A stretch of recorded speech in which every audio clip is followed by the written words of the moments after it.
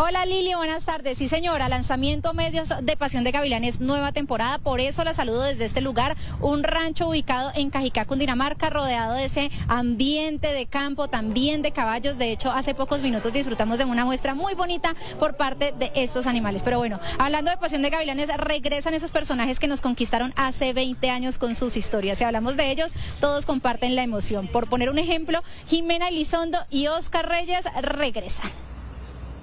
Bueno, Paola, primero, emociones de regresar 20 años, casi 20 años después, a una serie tan querida y que atrapó a tantas generaciones.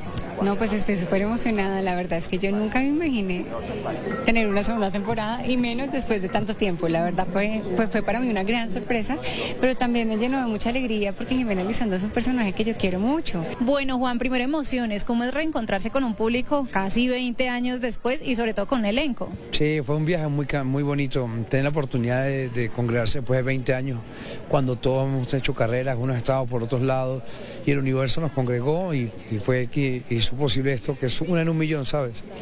Estar con, compañeros, seguir vivos y cada uno en sus lugares y poder congregar en, en Villa de Leiva para hacer esto genial. Así me despido, pero más adelante en Show Caracol voy a tener detalles de lo que será esta nueva temporada de Pasión de Gavilanes que llega el miércoles 13 de septiembre. Chao.